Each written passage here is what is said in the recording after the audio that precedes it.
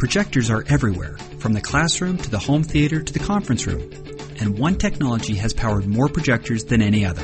That technology is 3LCD. There are several reasons why 3LCD has been so successful. 3LCD is famous for outstanding color reproduction.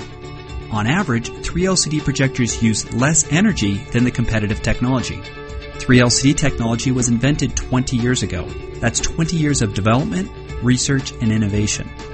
3LCD makers have sold over 60 million LCD chips. This success is called road tested reliability. 3LCD is built around three discrete LCD chips. These tiny liquid crystal displays are similar to the LCDs found in televisions, monitors, notebook computers, even telephones. Why are there three imaging chips?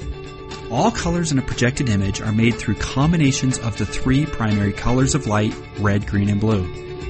White light is formed when pure light from all three primary colors is combined. That is why all three LCD projectors use three chips, one for each of the three primary colors. In fact, all major projection technologies have three chip versions LCD, LCOS, even DLP. Unlike DLP, all three LCD projectors have three separate imaging chips. Most DLP projectors get by with a single imaging chip. At the heart of 3LCD is a prism and the three liquid crystal chips. The three discrete LCD chips produce clear, colorful images and make the 3LCD system light efficient. Other components are the lamp, the dichroic mirrors, the mirrors, and projection lens. Lamplight is divided by dichroic mirrors into the three primary colors of light red, green, and blue. Dichroic mirrors are special optics that reflect certain colors while allowing other colors to pass through.